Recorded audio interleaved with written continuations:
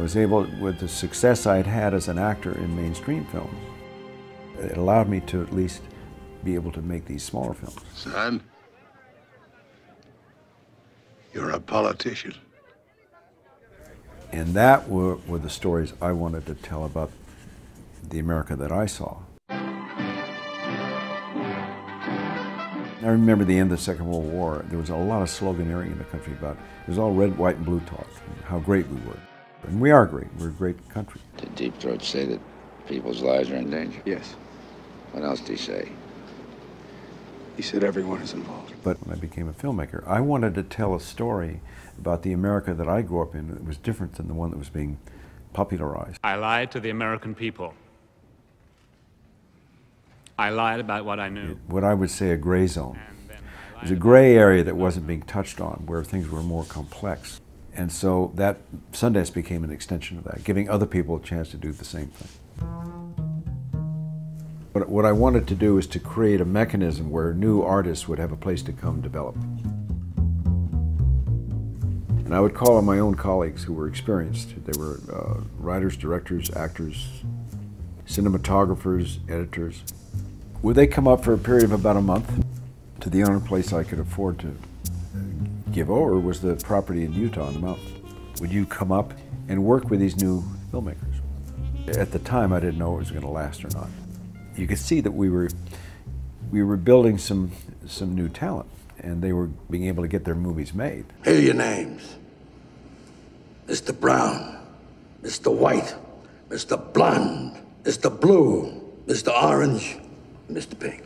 Why am I Mr. Pink? And then there was Reservoir Dogs, Quentin Tarantino. Mathematics is the language of nature. Darren Aronofsky and Pi.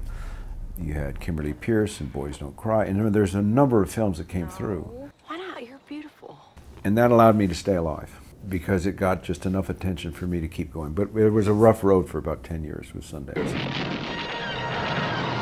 But the mainstream wasn't allowing any space in the theater for it. So I thought, well, it'd be sad to have just evaporate after the, they, they come through this lab. So maybe what we can do is create a festival and have them gather and just create a community of, of filmmakers to look at each other's work. The next thing was to, how do you get people in Utah? A lot of people see Utah as a theocratic state. You know, you have a culture that's very religious, basically. And that religion doesn't seem to, let's just say it would frown on, on kinds of films. So what are you doing? You're crazy. I said, well, maybe that's why we should do it. We should, we should make this weird. What are you doing up in Utah? Now, let's make it in the winter. Now it's really getting weird. Maybe it's just so weird, people will come because it's weird. I think about the first year when we only had one theater there, the old Egyptian theater. And there was no promotion, there was nothing, you know, no support.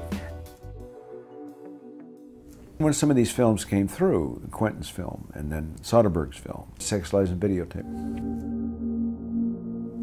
suddenly there was an attention there in Park City that didn't exist. And we were able to survive, but just barely. Uh, I think Roger Ebert was the first real supporter, and he stayed that way all the way through. I will be forever indebted to Roger and to Harvey Weinstein.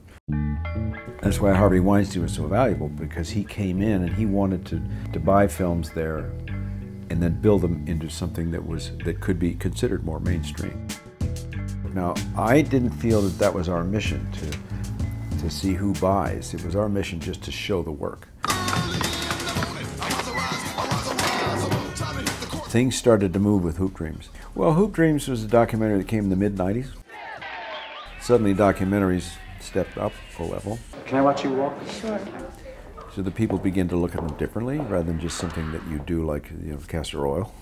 This is the story of us and our bands over seven years. And suddenly documentaries begin to really move and the support of them begin to move. And I was thrilled.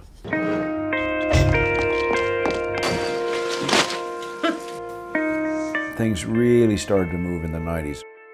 I thought, wow. Oh, I get it. People are coming here because they they're going to be able to see something they wouldn't get to see normally in the, in the mainstream marketplace.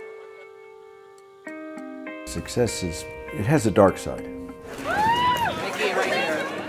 And I realized that the tension we were now going to be facing was going to be, because I, I, didn't want us to be chasing the money, and it was, it was tempting to chase the money.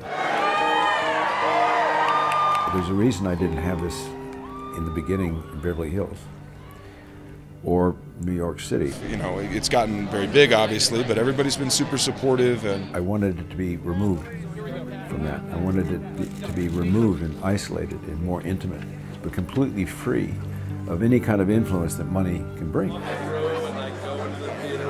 I just feel that if we don't close this down now, it's going to grow itself into a mess. I don't think we can do what we started out to do anymore. That hasn't happened yet, but I, I don't. If that moment came, I, you know, what do you do?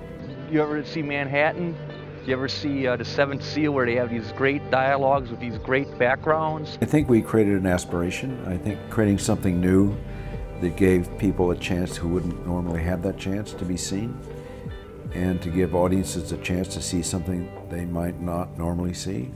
That to me is a huge plus. If it's done that, then I'm happy.